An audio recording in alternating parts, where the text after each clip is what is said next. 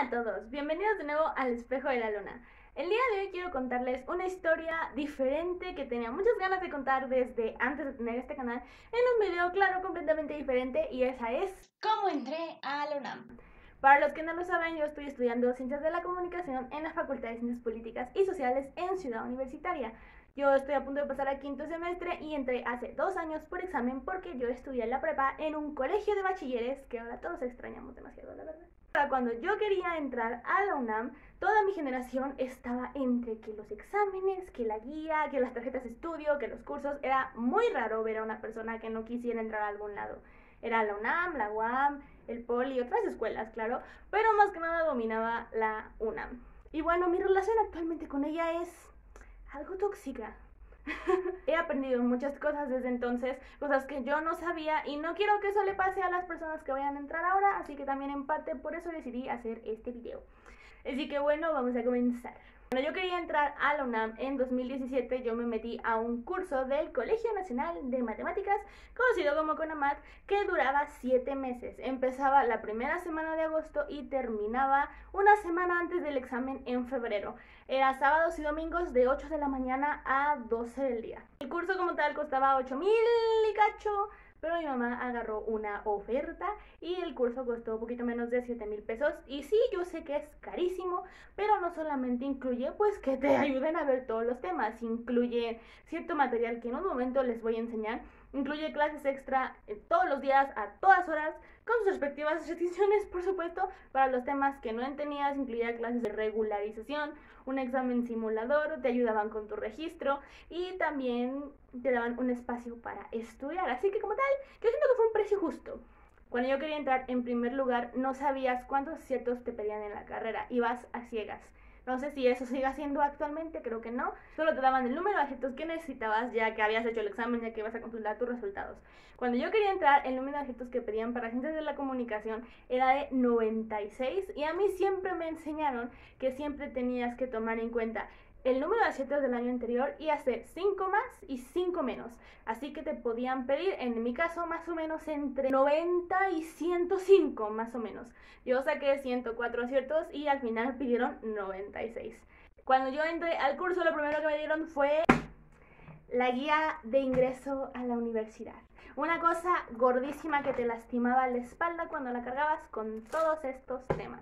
Además de eso, tenías que dividirte por área en cierto punto del curso, porque por supuesto todos los exámenes son diferentes. Si tú ibas para área 1 o área 2, te hacían más preguntas de matemáticas con temas más difíciles, y si tú ibas para área 3 o área 4, te hacían más preguntas de historia, tanto de México como universal. Que creo que eso la verdad no era tan difícil. Pero por supuesto, antes de eso podías tomar con los demás todas las materias comunes. Entre ellas estaban matemáticas y español. Y no sé por qué el CONAMA tiene la idea de que todos los alumnos somos malos en matemáticas, cosa que sí es cierto. Y aparte de darte esta cosa enorme, te daban ¡ajá! matemáticas, álgebra, aritmética y álgebra. Una cosa gorda. De los cuales creo que vi la mitad, sí fue mucho. Pero por supuesto hay que trabajar en las áreas de oportunidad y para ellos como matemáticas era una de las cosas que tenía más preguntas, independientemente de tu área, era la oportunidad de darle justamente al clavo. Además de eso te ayudaban con comprensión lectora porque obviamente si no entiendes las preguntas no lo vas a hacer bien. Así que también te daban esta cosita pequeña. Esto es habilidad lectora simplificada. Esta es mi calificación. Una cosa muy bonita, muy tierna, la verdad debo yo decir, me gustaba mucho. En general, las clases se dividían en todos los temas con profesores calificados, profesores que ayudaron a escribir esa guía. Incluso mi caso fue muy curioso porque a mí se me atravesó el sismo de 2017 en la Ciudad de México cuando estaba en ese curso y se suspendieron las clases dos semanas. ¿Cómo le hice para acabar el curso? No lo sé, nadie lo sabe. En fin, yo llegué a tomar incluso clases extra porque yo no sabía nada de física, no entendía la física, sigo sin entender la física y tuve ciertos problemas con matemáticas. Cuando yo hice mi primer examen diagnóstico, yo mm, no tenía ni 60 aciertos. Y cuando hice mi examen simulador, yo tenía 99, así que un gran cambio, un gran cambio. Como tal, me enseñaron muchas técnicas de estudio que quiero compartir unas cuantas con ustedes, ¿no? Lo mismo es siempre de que tienes que saber si eres una persona visual, auditiva o escrita, creo que es. Y dependiendo de eso, puedes saber qué estudiar. Yo he sido de todas. Así es. Yo estaba con mucha atención a las clases escuchando porque eso me hacía imaginarme las cosas, pero también escribir las fórmulas hacía que me las aprendiera de memoria, pero también el hecho de ver, también el hecho de ver las cosas, especialmente las fórmulas, hacía que se me quedaran justamente aquí grabadas en la cabeza. Pero como tal, además de eso, yo siempre tomé notas. Así que me voy encargando esas tres cosas más un cuaderno o dos, dependiendo de las clases que me tocaran. Ahora, yo no quiero sonar mala onda en esta parte, aclaro, es lo que a mí me funcionó, que fue más que nada en las situaciones difíciles, que más que nada en mi caso eran física y química, por las fórmulas, yo sí recurrí a la vieja escuela de aprenderse las cosas de memoria y luego olvidarlas. No estoy orgullosa de eso, pero tenía que hacerlo en el momento. Por supuesto, en el momento cuando te dicen 120 preguntas, tú piensas en algo terrorífico. Siempre nos han pintado el examen de la UNAM, independientemente de la prepa o de la universidad, como algo terrorífico. Y la verdad es que una vez que lo pasas te das cuenta de que no es una cosa tan terrible como te la pintaban. Sí, son 120 preguntas y depende de tu área van a ser más, pero una vez que te das cuenta que todo lo que aprendiste lo puedes ir al derecho y al revés, te das cuenta de que puedes dominar ese examen. Lo primero que tienes que hacer es tener la confianza en ti. Suena muy cliché, pero es la verdad. O sea, todo el mundo pensaba en mi caso que yo iba a entrar a Luna. Nunca nadie lo dudó, pero yo sí. Y justamente porque yo dudaba, yo no podía contestar la mitad del examen. Cuando yo estaba en el CONAMAT siempre nos dijeron, y es un tip que les voy a decir, tú vas a contestar el examen no como vengan las preguntas, sino como tú te las sabes, de lo que más te sabes a lo que menos te sabes. ¿Por qué? Porque entre más sepas, te van más rápido las preguntas y al final dejarás lo difícil del cual le puedes dar más trabajo. Es muy difícil tomar el tiempo en el examen a menos que en el salón haya un reloj o tú lleves tu propio reloj, porque te quitan el celular.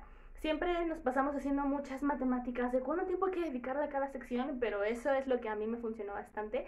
Pero regresando a mi historia, yo quería contestar primero las materias de historia porque era lo que más sabía. Después de ahí me seguía con geografía, después de me seguía con español y así sucesivamente, dejando por supuesto física al final. Y yo iba muy feliz, muy tranquila porque nos decían también, cuando tú empieces contestando lo que más sabes y veas que puedes responder las preguntas, vas a agarrar confianza y vas a decir, no si puedo, yo puedo con este examen. Pero a mí me pasó que me puse tan nerviosa que yo olvidé todo lo que sabía de historia. Las personas que me conocen saben que yo amo la historia, yo me sé la mayoría, sino es que toda la historia de México al derecho y al revés, me sé todos los presidentes. Me gusta mucho la historia de México, pero en ese momento les juro que yo me quedé congelada. No me sabía ninguna pregunta de historia. Y algo que siempre nos han dicho en el CONAMAN es que no te sabes la pregunta, sáltatela. Por supuesto, tienes que tener mucho cuidado con las preguntas para no saltártelas y no tener ahí tu error en la hoja, porque pues ahí ya valiste, ¿no? Pero yo me la saltaba y me la saltaba y me la saltaba y no, no, no recordaba nada. Yo entré en un pánico terrible. Y le pueden preguntar a mi mamá. Cuando yo salí del examen, yo salí shook. Yo salí sin palabras. Yo salía como si me hubieran agarrado a golpes. Yo estaba como. Y por un momento, por fin, la gente captó que a lo mejor yo no me quedaba. Todo el mundo confiaba en mí y yo no confiaba en mí. Y por eso no supe casi nada de historia. Y por eso casi no me quedo. Por primera vez en mi vida, mi propia mamá tuvo miedo de que no fuera suficiente. Yo me sentía muy mal. Pero pues no hagan eso. no sean como yo. Yo lo que hacía era entender los temas. Obviamente, además de esto que les digo de aprenderme las cosas mala idea, por cierto, era entenderlo, más que nada era entender cómo funcionaban las cosas. Así se leía, ¿por qué? Porque sí, así se leía historia, así pasó esto y esto y esto, porque la gente pensaba tal, ¿no? En el caso de historia era muy fácil hacerme, pues, muchas cosas en mi cabeza, ¿no? Tipo de que, ¿por qué se dio la Revolución Mexicana? Porque sí, porque tenemos que llamar Porfirio Díaz, cosa que no es cierto. Pero pues así uno se va haciendo historias y creo que más que nada es una cuestión de constancia. Mucha gente a mí me dijo exagerada por estudiar siete meses antes, pero no. No es para nada algo exagerado. Por supuesto que hay cursos que puedes tomar en la tarde, pero yo tuve la virtud de hacerlo los fines de semana porque podía seguir con mi vida entre semana y era algo que me ayudó bastante. También hay que aprender a no meternos demasiado en el estudio porque la verdad eso puede tener malas consecuencias, lo sé, no por mi experiencia, sino por gente que yo vi. ¿Qué le pasó eso? Yo lo que hacía mucho era leer, leer, leer. O incluso cuando a mí me explicaban las cosas, yo llegaba a anotarlas así como tal, ¿no? Que a mí me contaban mucho mis profesores la historia, creo, diciendo como literalmente una historia. Y llega este y mató a tal. Y así lo escribía, y llega este y mató a tal. Cada uno tiene sus diversas formas de aprender. Es mucho cuestión y suena muy cliché de encontrar la forma en la que aprendamos. Yo también aprendía mucho con siglas. Los presidentes me los aprendí con las siglas hacía las siglas y también hacía incluso como sonidos en mis manos para recordarlas. También utilicé un hack que puede sonar muy estúpido y que nunca sé si me funcionó o no, pero había un hack que yo encontré en YouTube que si te comías un chicle cuando estudiabas y masticabas ese mismo chicle del mismo sabor en tu examen, te funcionaba para recordar. Lo hice, me funcionó. Yo diría que sí, pero no puedo como asegurarlo. Doy el tip por si a alguien le sirve yo desconfiaba mucho de mí en el sentido hasta de cuánto es 5 más 5. Pero creo que lo más importante es quitar el mito de que esa cosa te puede matar porque no es cierto. Hay mucha presión en los adolescentes de que si no te quedas, tu vida va a quedar arruinada. Y mucha gente nos la creímos. A mí se me arruinaron muchas amistades justamente por esto de que si no entrabas, no solamente a la UNAM, sino en una universidad, tu mundo se caía. Y era verdad pero no porque así fuera, sino porque tú te lo creías y tú solito te destruías la vida que tenías, el mundo que tenías. Es justamente, además de estudiar, es muy importante darnos cuenta de que no toda nuestra vida va a ser un examen. Han satanizado mucho esto de que si no te quedas la primera ya nunca te quedaste y no es cierto. Yo tengo compañeros, amigos que no se quedaron en la primera vuelta y aún así entraron y siguen siendo los mejores estudiantes. No por eso tenemos que decir que si no fue la primera, no fue. Y sí llega un punto en el que te esperas y esto no va a resultar. Pero sí resulta. Es mucha cuestión de entender las cosas, de comprender las cosas. Cuando tú te das cuenta de que es necesario que sepas esto, porque así puedes entrar, es cuando te encuentras la motivación. Incluso yo sí recomiendo mucho tomar clases extra. Yo tomé clases extra de física, como les digo. Y sí, sigo sin entenderle, pero le entendí lo suficiente para el examen. Y creo que con eso es suficiente. Ahora, no solamente voy a hablar de todo lo que hice para estudiar, también quiero hablar acerca de cosas que no me dijeron a mí antes de escoger escuela. Y todo el mundo se puede burlar de mí por lo que voy a decir, pero yo no sabía que en la Facultad de Ciencias Políticas Sociales había paros. Así es. Tengo un tío que estudió ahí relaciones internacionales y no se le ocurrió decirme, mija, ahí hay paros. Y pues yo no supe los paros hasta que me tocó. Wow. Por si no lo saben, la Facultad de Ciencias Políticas y Sociales y la Facultad de Filosofía siempre van a estar en paro. Bueno, no siempre, pero casi siempre van a estar en paro, con razones muy válidas. Y es muy necesario entender algo del UNAM. Los paros se hacen porque la administración no hace nada. Sí, hay veces en las que las cosas que provocan el paro puede ser que te caigan mal. Y de esto te vas a replantear muchísimas ideas. Y yo sé que esto no aplica solamente para mi facultad. Hay muchas facultades que se van a paro después de nosotros. Y es muy importante entender las razones. Mucha gente ha llegado a odiar a las feministas por este sentido y es cuando sale a relucir el machismo. Y ahí es cuando tú te replanteas por qué estás en contra, porque estás a favor de esto. De cuando te das cuenta qué percepción tienes tú del feminismo y la concepción que tú tienes del machismo, especialmente cuando fuimos creados en un mundo así. No hablar de feminismo, pero es muy importante mencionar. Es muy importante estar consciente de qué tipo de escuela estás entrando, especialmente si es un tipo de escuela que quiere hacer paros todo el tiempo. Con justa razón, eso sí, yo no digo nada. Además de esto, creo que también es muy importante revisar el plan de estudios y compararlo con otras escuelas antes de entrar.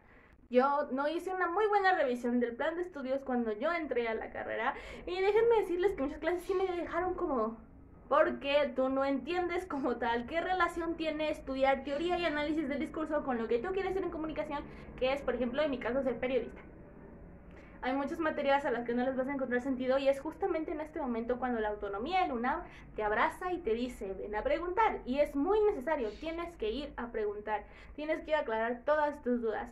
Tal vez uno se puede llegar a sentir intimidado si estamos todavía en la prepa y no estamos en una prepa del UNAM, pero las personas son muy accesibles en general. Yo fui antes de hacer el examen por unas dudas que tuve y las personas que después fueron mis profesores me trataron hermoso y entendí muchas cosas. Que no revise bien el plan de estudios es otra cosa. Algo que también tenemos que saber si vamos a entrar por examen, es que es muy probable que nos discriminen. A mí me han tocado compañeras mujeres que me han discriminado por venir de un bachilleres. Y tengo amigos que pueden respaldar mi historia. A mí siempre me dijeron, no importa lo que hagas, tú nunca vas a ser como nosotros. Una niña, así, me lo dijo. Gente que no quiso ser mi amiga porque yo venía de un bachilleres. Te vas a encontrar con muchas personas que se creen lo mejor de lo mejor solamente porque estudiaron una prepa de la UNAM. Probablemente sí lo sean, yo nunca lo voy a saber. Pero también hay que aprender que eso no nos hace menos personas. Eso no nos hace menos capaces. Hay muchas eh, historias, muchos dichos, muchos consejos y yo siempre me he quedado con uno. Probablemente no nos quedamos en la UNAM cuando entramos a la prepa. No necesariamente porque seamos personas tontas a veces son por razones completamente diferentes, como fue mi caso. Pero nosotros nos enfrentamos a dos exámenes. Uno en el que si no entrábamos nos quedábamos prácticamente sin una vida. Y aún así lo pasamos. Nosotros somos igual o más inteligentes y fuertes que las personas que entraron directamente con un pase directo. Algo que nos va a dar mucho coraje y que a mí me dio mucho coraje fue darme cuenta de que muchas personas no apreciaban el lugar que tenían. Una vez que tú te sientas en un examen con más de 2.000 personas, te das cuenta de que es muy difícil entrar ahí. Y también te das cuenta de que hay mucha gente que no lo valora. Y no puedes ser esas personas cambiar de opinión, por más que quieras. Yo lo intenté. Yo siento que la UNAM está muy sobrevalorada en el punto en el que te dicen que eso es lo máximo a lo que puedes aspirar. Y sí es cierto, pero no es la única universidad a la que puedes aspirar. Mucha gente, y fue mi caso, se va a la UNAM porque es la mejor universidad de México, es la universidad. Pero a veces tenemos unas expectativas tan altas que terminan decepcionándote. Y no lo digo porque la UNAM me haya decepcionado porque se llama la escuela, no, al contrario, es una muy buena escuela. Pero a veces tenemos unas expectativas tan altas que si no resulta ser lo que nosotros queremos, la caída es enorme. Muchas veces por eso dejamos de lado escuelas muy buenas, opciones muy buenas. En mi caso yo no exploré otras opciones porque era la UNAM o era la UNAM. Y eso es algo que sí me gustaría decirle a las personas, ustedes tienen que explorar sus otras opciones. Y también es importante voltear a ver las opciones de escuelas privadas. Algunas personas no pueden o no podemos pagarlo, yo lo sé, pero justamente existen estos casos de una beca. O existen personas muy buenas y yo tuve la suerte de toparme con esas personas que ven el potencial de una persona y te ayudan, sin importar que no estoy diciendo que las universidades privadas sean mejores que las universidades públicas. Y por último, hay cosas que me hubiera gustado decirme a mí misma y a las personas que estaban haciendo el examen en ese momento. La UNAM no lo es todo. Es una muy buena escuela, pero solamente si tú la haces buena escuela. Tú puedes entrar, pero luego cuando estés en las clases puedes echar la flojera. Puedes salir en 2, 3, 4, 5, 6 años o en 14 o algo así como nuestro querido presidente. La oportunidad va a estar ahí. En la UNAM tú decides qué hacer. En todas partes. Hay algunas facultades que no, pero por mi caso, en la mía, yo desde segundo semestre pude escoger a mis profesores. Yo decidía y decido si cambiarme de turno, si tomar más materias, si tomar menos materias.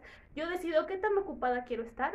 Hay que aceptar que cuando pasas a la universidad va a haber veces en las que para empezar duermas una hora. En segunda, tú vas a entrar en ese pequeño vagón del metro de la línea 3 como sea, tú vas a entrar. Hay gente que se tiene que acostumbrar a pararse a las 4 y media de la mañana, a las 5. Tú vas a aprender a estar tranquilo con esa falta de sueño. Yo me paraba a las 5 y media y salía de mi casa a las 6. Y era de las personas que más tarde se paraban. Tú aprendes a vivir con café aprendes a no desayunar, algunas personas aprenden a fumar, algunas personas aprenden incluso a drogarse y no eres nadie para juzgarlo, no somos nadie para juzgarlo. Yo siempre he dicho y he estado hablando eso con una de mis amigas últimamente, estar en la universidad va a ser el simulador más realista que vas a tener de la vida. Y la universidad es una etapa muy buena porque tienes el poder de equivocarte todo lo que quieras sin que los errores sean muy grandes. Puedes ocupar trabajos que te apasionen y que no paguen mucho porque todavía tienes la oportunidad. Aprendes mucho a ser responsable, aprendes a escribir como no tienes una idea, aunque no quieras ser periodista, aunque no quieras ser escritor, ahí vas. Aprendes a leer 100 hojas en un día, pero también hay que aprender que la universidad no lo es todo. Yo, como les digo, perdí muchas amistades por la UNAM, pero tú no debes de dejar que las cosas terminen o tu mundo se caiga o que tus amistades, relaciones terminen solamente por una escuela. Es muy buena, pero es muy importante tú. Y es algo que yo dije también en un video anterior. No porque sea lo mejor, significa que es lo mejor para ti. Hay personas que no están hechas para la UNAM. Hay personas que no tienen otra opción más que irse a la UNAM. Cada quien tiene su historia y te vas a encontrar con un mundo ahí. Pero no quieras entrar sin estudiar. Tienes que estudiar. Tienes que matarte estudiando. En un sentido figurado, claramente. y también hay que aprender que si no entras a la primera no significa que no vas a entrar. El mundo no se acaba si no entras. Tienes que volverlo a intentar. Y si es para ti, se va a hacer. Tarde lo que se tarde, se va a hacer. Hay que desmentir mucho el mito de que si pierdes un año ya valiste. No es cierto. En este punto de nuestras vidas, en este punto del mundo, es necesario aceptar que cada quien va a su propio ritmo. Y no tienes que hacer las cosas solo porque los demás lo están haciendo. Tienes que aprender a moverte solo, porque al final es lo único que tienes. Aunque hagas amigos, aunque tengas pareja, lo que sea, en esa universidad, en algún momento vas a estar solo. Y tú solito vas a decidir en cuánto tiempo te quieres graduar, cómo te quieres titular, qué trabajo quieres tener y cuándo hacer la tarea o cuándo tomar clases. Independencia es la palabra que define la UNAM. Para buen y mal sentido. Pero bueno, esas son algunas de las cosas que me hubiera gustado decirme a mí, yo de 18 años. Pero en general espero que les haya gustado mucho el video, que les haya ayudado, aunque sea un poquito. Y pues ya regresaré la próxima semana. Pero bueno, los quiero. Adiós.